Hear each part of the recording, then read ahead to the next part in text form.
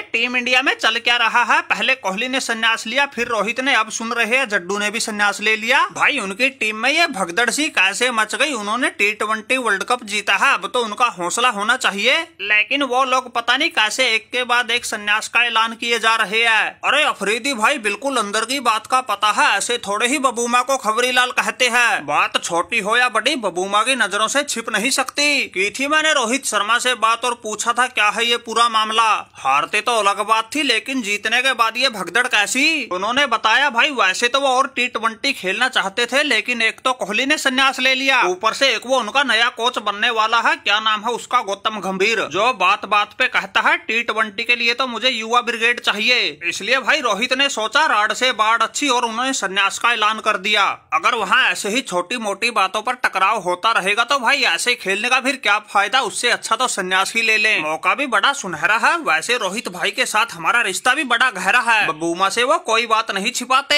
अरे बबूमा भाई बिल्कुल सही हुआ। इन लोगों ने संन्यास ले लिया, सुसरी के बहुत कूटते थे। ये रोहित शर्मा तो ऐसा उल्टी खोपड़ी का था, इसको पता ही नहीं था किस गेंद पे कहाँ मारना है। कम वो कोहली भी नहीं था, फंसते ही हमारी तो बिल्कुल खाल उधेड़ के रख देता था। अब न रहेगा बाँस, न बजेगी बांसुरी। अरे हारिस राव भाई, बात तो तुम ठीक कह रहे हो, ये इंडिया वाले तो हमारी बिल्कुल जान का जंजाल बन गए। अब इस टी ट्वेंटी वर्ल्ड कप में ही देख लो फाइनल इन्होंने जीत लिया, लेकिन ताने बाबर को सुनने पड़ रहे हैं। हर कोई मित्र प्यारा, चाहे किसी से रिश्ता हो कितना भी गहरा। सब एक ही बात कह रहे हैं, भाई तुम्हारे पड़ोसी कौन से आसमान से उतरे थे?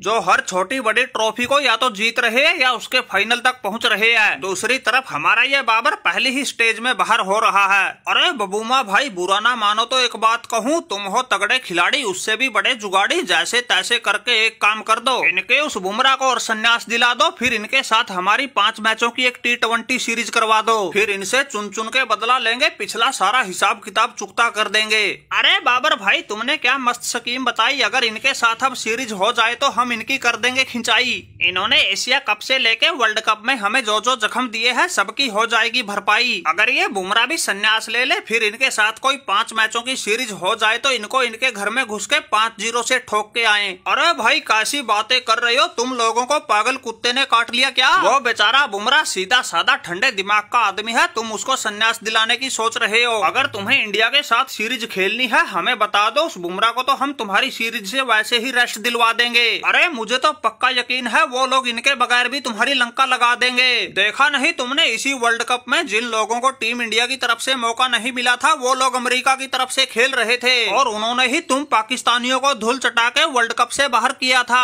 बाबर भाई, लगता है ताने सुन सुन के तुम्हारी यादाश्त कमज़ोर हो गई, इसलिए हाल फ़िलहाल की बातों को भी भूल रहे हो। अरे, अफरीदी भाई, समझाओ, अपने लंगूरों को अगर इनके बगैर भी ये इंडिया से हार गए तो फिर कहीं मुँह दिखाने लायक ना बचेंगे। अरे, बात सुनो भाई बबूमा खबरी लाल माना की हमारे लिए ये वर्ल्ड कप अच्छा नहीं रहा, लेकिन तुम्हारा ठीक नहीं, हमारी टीम पर ऐसे उठाना सवाल। अरे, अफरीदी भाई, तुम तो इनसे भी ज़्यादा लाल पीले हुए पड़े हो, लेकिन ऐसे तिल मिलाने से काम नहीं चलेगा। क्योंकि ये खतरों का खिलाड़ी बबूमा है, सच का साथी जो सच होता है, वो कहता है, ठोक के छाती। माना कि टी ट्वेंटी वर्ल्ड कप तुम्हारे लिए अच्छा नहीं रहा, लेकिन तुम्हारे लिए अच्छा क्या रहा है, वो तो बता दो। एशिया कप में तुमने नाक रगड़ी, फिर वनडे वर्ल्ड कप में तुम्हारी बैंड बजी वर्ल्ड टेस्ट चैंपियनशिप के तो तुम आसपास ही नहीं थे। अब ये हाल फ़िलहाल में टी ट्वेंटी वर्ल्ड कप था, जिसमें तुम्हारी हालत तो पूरी दुनिया ने देखी। दूसरों के भरोसे सुपर एट में पहुँचने का बहम पाले बैठे थे और बबूमा को कहते हो, हमारी टीम पे सवाल न उठाओ। और क्या तुम्हारी टीम को हार पहनाऊं? सच बात बोल दी तो इनको मिर्ची लग गई। देखो भाई, शाहिद अफरीदी, तुम तो सीनियर खिलाड़ी थे, इसलिए हमको तुमसे तो ऐसी उम्मीद बिल्कुल भी नहीं थी। तुम तो भाई वही काम कर रहे हो जो बिल्ली को देख के कबूतर करता है। ऐसे आँख मीचने से खतरा थोड़े ही टलता है। हमने तुम्हारी कमियाँ बताई, तुम्हें उनको सुधारना चाहिए था, लेकिन तुम तो उल्टा बबूमा पर ही आग बबूला हो गए। इसीलिए तो तुम पाकिस्तान वाले हर छोटी बड़ी टीम से मुँह खा रहे हो। दूसरी तरफ़ देखो वो, हमारा चेला रोहित शर्मा बबूमा से गुरु ज्ञान लेके कैसे सभी छोटे बड़ों को पेल रहा है। सामने ऑस्ट्रेलिया आई या इंग्लैंड, सभी का बजाया उसने बैंड।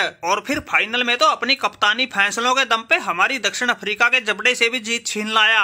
अरे अफरीदी भाई, तुमने ये किस आफत को बुला लिया? ये तो बिल्कुल धोती खोल रहा है। ऐसी ऐसी बातें बोल रहा है जिसका हमारे पास कोई जवाब तो है नहीं, लेकिन हमारा पारा बिल्कुल सातवें आसमान पर पहुँच गया। ऊपर से इसको कुछ कह भी नहीं सकते, ये तो बिल्कुल सर पे कफन बाँध के आया है। अरे लंगूरो, तुम्हारे प्रदर्शन ने ही इसको ऐसा कहने के लिए उकसाया है। अगर